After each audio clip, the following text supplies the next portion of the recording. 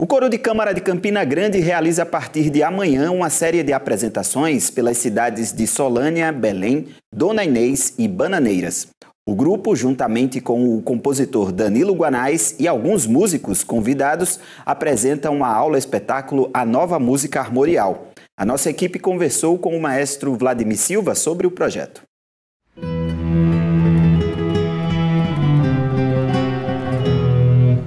A Nova Música Armorial é um projeto que eu desenvolvo em parceria com o compositor Danilo Guanais, que reside em Natal, Rio Grande do Norte, há 10 anos.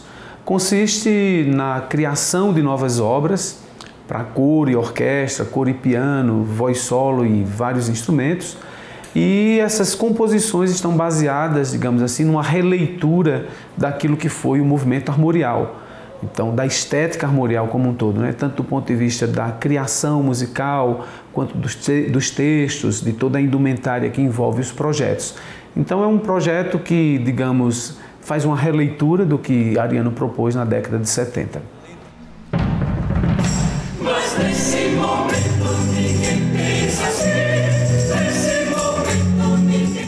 O projeto foi contemplado no edital estadual da Lei Paulo Gustavo, e o projeto inclui apresentações em quatro cidades do interior da Paraíba, né? incluindo Dona Inês, Bananeiras, Solânia e Belém.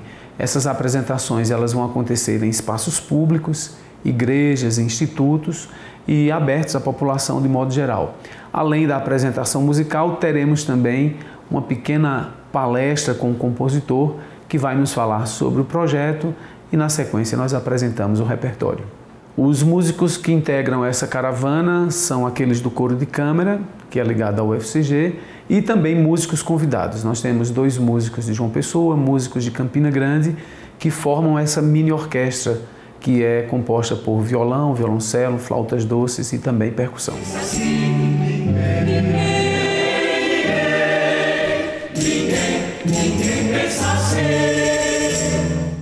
O projeto ele é relevante porque ele atualiza, digamos assim, aquilo que foi proposto por Ariano nos anos 70. Então é um projeto todo baseado na nossa cultura. Parte das composições que iremos interpretar foram criadas na cidade de Bananeiras, onde Danilo também reside. Então é uma releitura do ambiente musical no qual nós estamos inseridos, das nossas tradições literárias também. Isso ganha uma força muito grande, porque a identificação do público com a sonoridade que eles vão ouvir é de imediato, né? Porque está intrinsecamente ligado ao dia a dia dessas pessoas. Mas nem se anime, é só ilusão.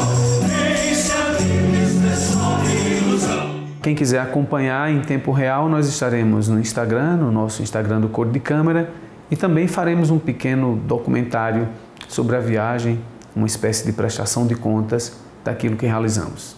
Todo o registro audiovisual dessa nossa viagem pelo interior da Paraíba será disponibilizado ainda no mês de maio para que todos possam acompanhar como é que foi o projeto.